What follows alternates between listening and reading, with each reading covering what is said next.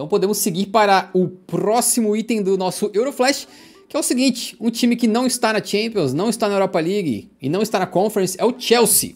E o Chelsea acabou virando notícia nessa semana de uma maneira que passou praticamente batido. Poucas pessoas se atentaram para o que aconteceu, mas eu achei gravíssimo. Todo mundo sabe que o, o Chelsea foi comprado aí pelo Todd Boyle e pelos seus companheiros, seus comparsas aí de negócios, né? Que já estão administrando o clube agora vai fazer duas temporadas, se eu não estou enganado. Nesse período eles gastaram praticamente um bilhão de euros em transferências e eles vêm fazendo algumas práticas escusas, ou seja, algumas práticas no mínimo contestáveis. Uma delas era assinar com jogadores e botar um contrato de 8, de 9 anos, que é uma prática absolutamente incomum no mercado, por um objetivo muito específico. O jogador, quando ele é comprado, ele tem o seu valor amortizado pela duração do seu contrato. O que, que isso significa para quem não, não tá ligado muito na questão contábil aí?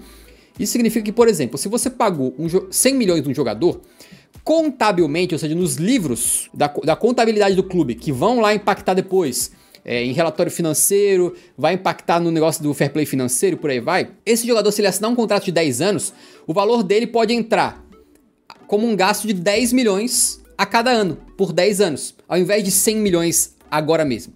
E por que, que eles fazem isso?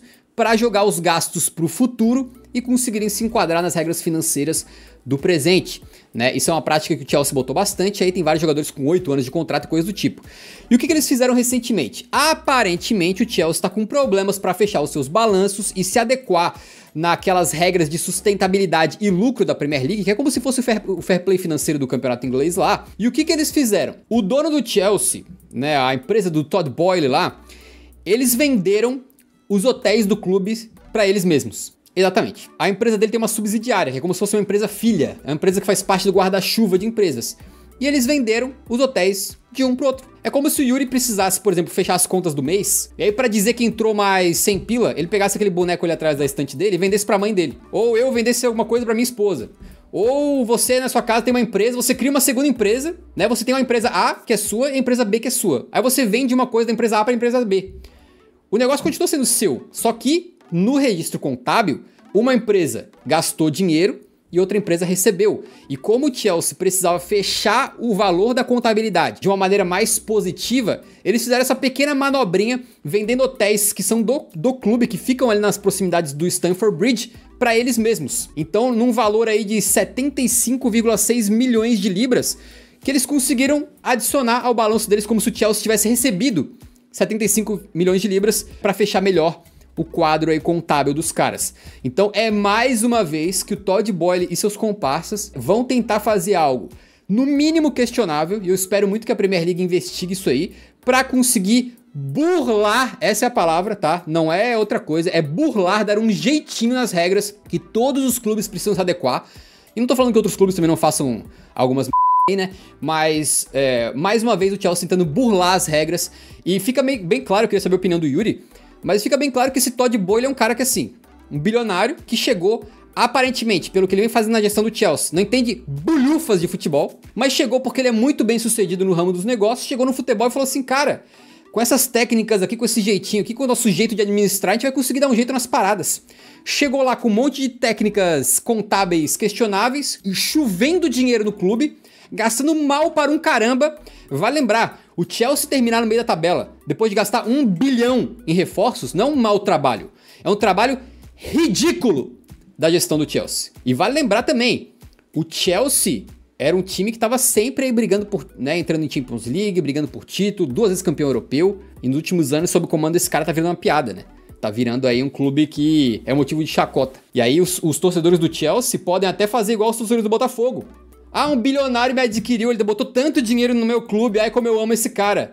O cara tá destruindo o seu clube, você não tá vendo, é porque ele botou um bilhão, aí você fica, pô, nossa, o cara botou muito dinheiro, investiu muito na gente. Ele tá transformando seu clube numa piada. E ele, o seu clube é apenas uma ferramenta para os negócios dele, tá? O, o, alguém acha que o Todd Boyle ama o Chelsea. Vocês estão de sacanagem. Isso aqui é apenas uma. O Chelsea é apenas uma peça para ele. E uma peça que tem sido movida de maneiras questionáveis e com uma gestão horrível nos últimos tempos. Temos aí mais uma vez o Chelsea tentando dar um jeitinho. Tu acha que bonito, Yuri? Tu acha isso aqui bonito? E tu acha que a Premier League vai deixar passar isso aqui? Acho que vai. Conhecendo a forma que a Premier League e a UEFA trabalham com esses clubes comprados, eu não duvido nada que, que isso aí passe completamente batido, né, cara?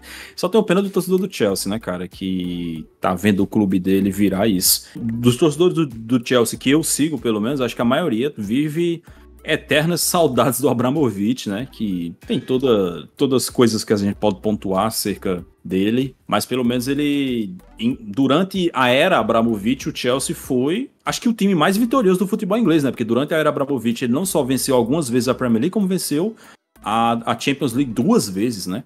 Então, coisa que a, os, até o próprio City ainda não conseguiu vencer a Champions mais de uma vez, embora possa conseguir neste ano. Então acho que o torcedor do, do Chelsea vive eternas saudades do Abramovich. São duas temporadas patéticas no comando na administração do Todd Bowley, né?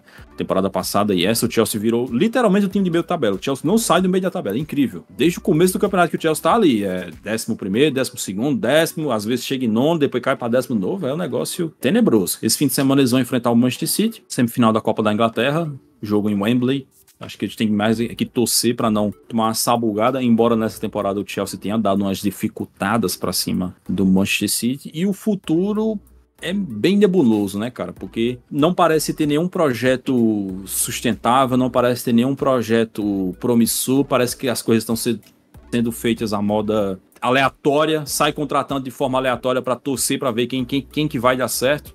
O Palmer deu certo, beleza, mas e os outros, né? É, vários jogadores aí contratados por valores absurdos que não estão rendendo, que não estão conseguindo jogar bem. O trabalho do Marius Pochettino é péssimo. Não sei até que ponto dá pra gente culpar só o Pochettino pelo trabalho tá sendo tão ruim, porque eu acho que o entorno também não ajuda. Então, sei lá, cara, acho que pro torcedor do Chelsea realmente. Olha, acho que de todos os times do Big Six hoje, o Chelsea é o que tem o futuro mais incerto na minha visão. Perfeito, cara. Eu tinha visto também que a folha salarial do Chelsea era um bagulho absolutamente enorme. É, agora não tô achando aqui, mas era, era, mas era um bagulho enorme e os caras estão abrigando no meio da tabela. Enfim. Lembrando que vários desses contratos aí com esses jogadores e até lá para 2030, tá? São contratos bem longos. Exatamente. Então tá aí, torcedor do Chelsea, abre o olho, cara, abre o olho. Comece a questionar esse camarada aqui. Né? Não fica aprovando tudo que esse cara faz como se ele fosse o salvador do seu clube, não. Porque até o momento ele, ele só tem trazido coisas ruins pro teu clube, né? Não é porque o cara, o cara é rico que, tu, que ele sabe o que tá fazendo 100% do tempo, não. Inclusive o Todd Boy, ele parece não saber na metade do tempo, né? Claro que o futuro vai dizer, tem vários jogadores jovens, então de repente daqui dois, três anos esses caras estão jogando muito bem. Mas, por exemplo, nesse momento, ainda mais com especulações de que eles vão querer resolver os problemas contratando mais. Não sei se tu viu isso aí, mas parece que o Chelsea está de olho no mercado. a contratar mais. Porque contratar 30 jogadores no último ano e meio não foi suficiente. Tem que trazer mais. Então eles vão tentar resolver. No, no, no Jokers. Então, se eu fosse jogador de qualquer time aí, nossa, tomava muito cuidado nesse dia aceitar ir pro Chelsea.